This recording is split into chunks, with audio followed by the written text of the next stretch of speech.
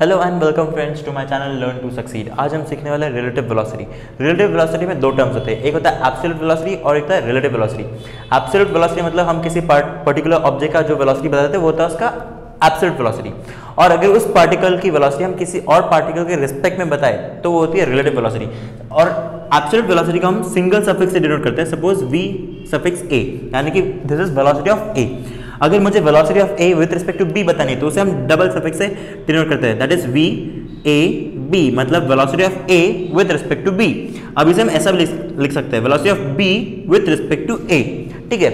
Suppose मेरे पास दो bikes है एक ए और दूसरा B velocity of A is 20 meter per second and velocity of B is 50 meter per second और दोनों बाइक साइमल्टेनियस जा रही है। आप खड़े हो आप उन दोनों बाइक्स को देख रहे हो। तो दोनों बाइक्स की वेलोसिटी आपको देखेगी। बाइक ए का वेलोसिटी 20 बाइक बी का वेलोसिटी 50 क्योंकि आप स्टेशनरी हो तो आपको उनकी एक्चुअल वेलोसिटी दिखेगी, यानी कि एब्सोल्यूट वेलोसिटी बट अगर बाइक ए बाइक बी को देखेगा तो उसे देखेगी बाइक बी की वेलोसिटी 30 पॉजिटिव में। क्यों? क्योंकि वो खुद 20 की वेलोसिटी से आगे बढ़ रहा है। ठीक है? और उसी तरह अगर बाइक बी बाइक ए को देखेगा तो उसको देखेगी इसकी बाइक ए की वेलोसिटी नेगेटिव में 30 क्यों? क्योंकि ये उससे 30 ज़्यादा स्पीड से जा रहा है। ठीक है? तो इस तरह से हम रिलेटिव वेलोसिटी को डिनोट करते हैं। रिलेटिव वेलोसिटी का फॉर्मूला हम इस तरह से लिख सकते हैं। That is velocity of A with respect to B can be written as V A minus V B and velocity of B with respect to a can be V B minus V A तो इसमें put करके हम अपना answer निकाल सकते हैं। अब यहाँ पर दो चीज़ें हैं कि velocity of A with respect to B अगर आपको गिवन है क्वेश्चन में, और वी ए निकालना है तो ये दो चीज़ें पता है और तीसरा आपको निकल जाएगा। और उसी तरह velocity of B with respect to A दिया है तो इसमें पुट करके आप उसका आंसर निकाल सकते हो। अब जब वो क्वेश्चन में डायरेक्शंस वगैरह देता है तो उसमें कुछ टर्म्स होते हैं। वो टर्म्स अब, अब हम यहाँ देखते हैं। मेरे पास north east west and south चार डायरेक्शन है। यहाँ पर V A V B V C V D and V wind ये चार कंपोनेंट्स है मेरे पास चार ऑब्जेक्ट्स है जिनकी वेलोसिटीज है।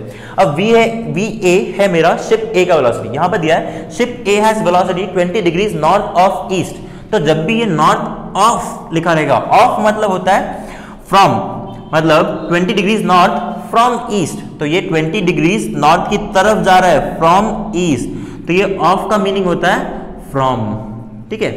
From then next ship B has velocity 40 degrees south of west of का मतलब फ्रॉम साउथ फ्रॉम वेस्ट तो ये हुआ शिप बी का वेलोसिटी 40 डिग्रीज साउथ की तरफ़ फ्रॉम वेस्ट तो ये ऑफ़ का मीनिंग होता है फ्रॉम नेक्स्ट है cyclist has velocity due north ये वीसी जो है, ये साइकिलिस्ट है, वो जा रहा है ड्यू नॉर्थ तो ड्यू का मीनिंग होता है टूवर्ड्स ड्यू का मीनिंग होता है टूवर्ड्स तो ये साइकिल जा रही है towards north then VD is truck का velocity truck has velocity north west. तो जब भी कैसे से कभी अभी ऐसा नॉर्थ वेस्ट लिखा रहेगा तो उसका मीनिंग होता है नॉर्थ एंड वेस्ट डायरेक्शन से सेंटर में मतलब 45 डिग्रीज पे।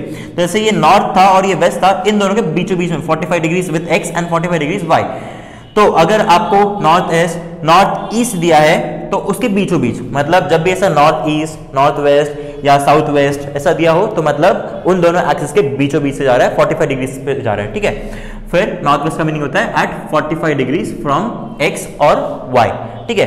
देन वी विंड लिखा है wind blowing from north wind is blowing from north हवा नॉर्थ के डायरेक्शन से आ रही है मतलब ऑब्वियसली वो कहा जाएगी? It is going towards south तो यहाँ पर विंड के केस में क्या हो जाएगा? इसका मीनिंग हो जाएगा it is moving towards south towards south okay तो इस तरह से आपके कुछ डायरेक्शंस के लिए जो टर्म्स यूज़ किए जाते हैं of due north west and from तो इससे देखकर आपको उनके प्रॉपर डायरेक्शंस लेकर फिर क्वेश्चन सॉल्व करने होते हैं। तो दोस्तों, अगर जो मैंने पढ़ा है वो आपको समझ में आ रहा है अच्छा लगा हो तो प्लीज़ इसे लाइक कीजिए, अपने दोस्तों के साथ शेयर कीजिए और साथ ही साथ मेरे चैनल को सब्सक्राइब भी कीजिए। Thank you